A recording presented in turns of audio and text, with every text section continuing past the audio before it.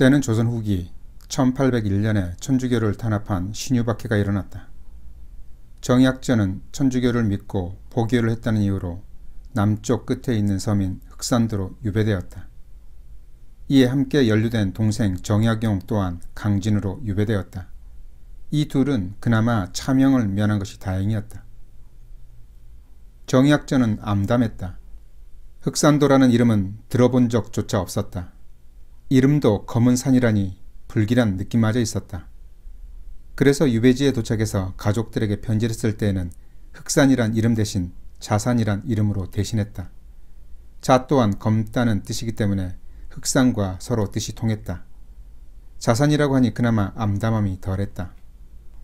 정약전은 시간이 될 때마다 바닷가에 나가서 산책을 했다. 바다를 바라보고 있으면 그나마 답답한 마음이 풀렸다.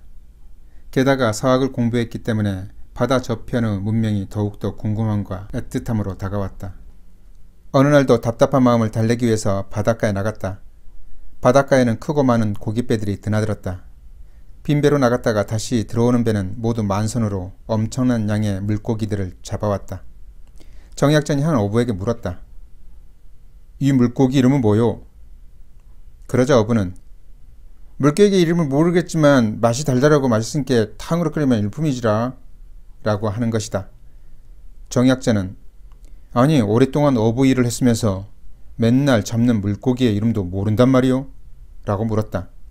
그러나 그 어부는 아따매 괴기 이름이 뭐땀시 필요하다요? 우리는 그냥 간잼이라고 한디 그냥 잡아서 묻거나 시장에서 팔면 그만인게라 라고 하는 것이다. 그러자 정약자는 저쪽 어부는 다른 물고기를 보고 간잼이라고 하던데 말이오 하고 의아해했다. 간재미는 가자미를 부르는 이름이기도 하고 동시에 홍어를 부르는 전라도 사투리다. 이렇듯 이름들이 서로 섞여 있었다. 다른 어부들에게 물어봐도 생선 이름을 정확하게 아는 이들이 드물었다.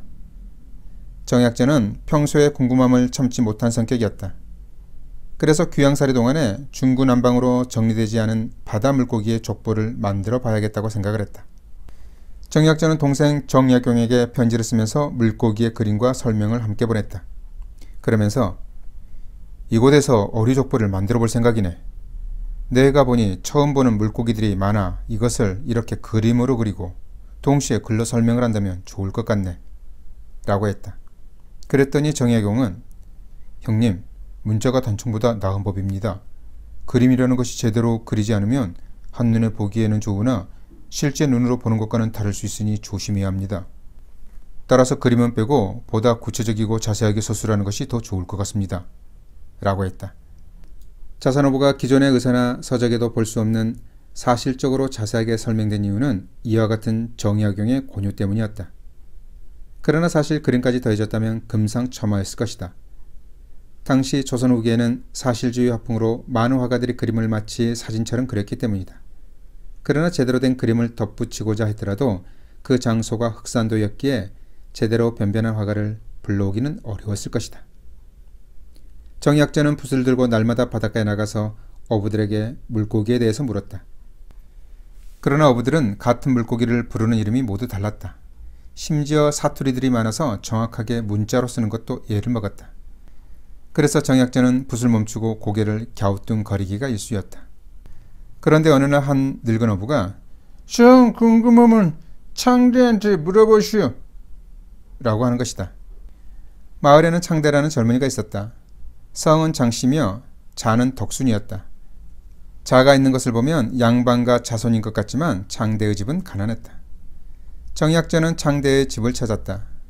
장대는 집안에 들여박혀 사람들을 만나지 않고 책 읽기를 좋아했는데 읽을 만한 책이 적어서 몇 권을 번갈아 가면서 읽을 뿐이었다. 그러다 보니 창대가 읽고 있는 소화기나 논어들은 손때가 묻어 너덜너덜해질 지경이었다. 장대는 성품은 조용하고 치밀한 성격이었다. 태어나서 한 번도 선 밖을 나가본 적이 없어 견문은 박식하지 못했지만 총명했다. 한 번 본 초목과 섬 곳곳의 오류를 세세하게 관찰하고 사고했으며 한 번 보거나 들었던 것들은 결코 있는 법이 없었다. 그래서 사람들은 그의 말이라면 가히 사실로 믿을 만 했다. 정약자는 장대에게 자네가 나를 좀 도와줘야겠네. 섬 사람들이 부르는 이름과 설명이 천차만별이라 붓의 먹물이 말라버리기 일쑤네. 모두들 자네에게 물어보라고 하니 부탁하네. 라고 했다. 장대도 흥미가 있었는지 아따 그 귀한 책을 없는 내용으로 새로 만드신다는 게 대단하시구만요. 제가 도울 일이 있으면 돕겠구만이라. 라고 답했다. 정약자는 창대를 집으로 불러서 숙식을 함께하며 머무르게 했다. 시간이 날 때마다 함께 바닷가로 나가 어부들이 잡은 물고기를 살폈고 장대가 젓는 배를 타고 직접 낚시도 하고 그물을 쳐서 물고기를 잡아서 관찰했다. 장대와 같은 명석한 친구가 옆에 있으니 헷갈리는 법이 없었고 차곡차곡 어류의 족보가 쌓였다.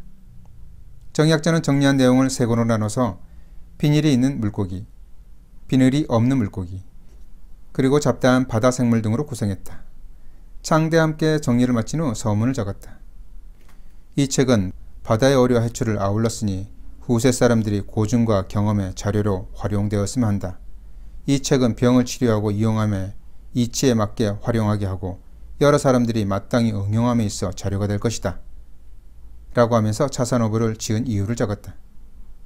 서문을 보면 결코 시간이 남아 돌아서 저술한 것이 아니었음을 알 수 있다. 서문을 쓰고 난 정약전은 책의 이름을 자산오브라고 지었다. 그런데 책은 단 한 권밖에 없었다. 정약자는 너무 심혈을 기울인 나머지 한 권도 필사할 엄두를 내지 못했다. 창대 또한 자산어보가 완성된 후 학문의 뜻을 두고 육지에 나간 지 오래되었다. 안타깝게도 자산어보의 유일한 초고이자 완성본은 방안 한 구석에서 먼지가 쌓이고 있었다. 동생 정혜경은 이미 정약전이 자산어보를 저술하고 있었고 완성이 되었다는 것을 편지를 통해서 알고 있었는데 완성되었다고 했던 책을 받아보지 못해 의아해했다. 정약전이 죽은 후 정약용은 제자 이천과 함께 흑산도를 방문할 일이 있었다. 그런데 앞불사 형님이 저술한 자산어보 책장이 흑산도 어느 섬 집의 벽지로 사용되고 있는 것이다. 그를 읽지 못하는 어부는 이 책이 자신의 섬에 유배를 왔던 정약전의 저술인지도 몰랐던 것이다. 정약용은 이 상황을 슬퍼하며 제자 이청에게 벽지로 사용된 자산어부 종이를 잘 뜯어내고 뜯어지지 않는 것들까지 해서 모두 필사를 하게 했다. 이청은 당시에 정약용과 함께 본초 과목이나 동의보감을 함께 공부해서 의원만큼이나 본초에 대한 식견이 높았다. 이청이 읽어보니 자산어부는 해양 어류의 겉모양, 내부 장기 모습, 먹이 습관과 행태, 사람들이 먹는 방법 등 아주 자세하게 기록되어 있어서 감탄을 했다. 그런데 이미 기존 학자들에 의해서 익히 밝혀진 내용들이 누락되어 있기도 했다. 그래서 이 청은 본초 강목이나 동의보감 등의 내용을 추가했다. 이 청은 처음으로 기록된 민화나 조기 등을 적은 석수어 편을 시작으로 해서 한자 한자 빠짐없이 필사했다. 큰 것은 길이가 한정 정도 되고 몸통은 한 뼘 정도나 되는 것도 있어서 대면이라고 부른다. 성명으로 에우치라고 한다. 라고 빠짐없이 적었다. 그리고 말미에 청안이라고 덧붙이고 나서 기존 의서의 내용을 추가했다.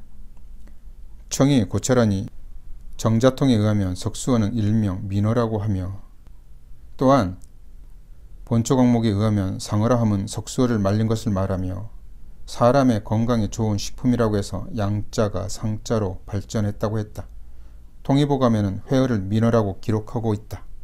진장기에 의하면 외를 면이라고 잘못 전하고 있는데 라고 보충했다.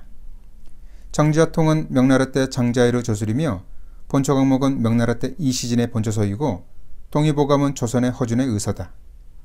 진장기는 당나라 때 본초 수비를 저술한이다. 이청은 당시로서 참고할 만한 서적의 내용을 모두 덧붙여서 자산어부의 가치와 위험을 더했다.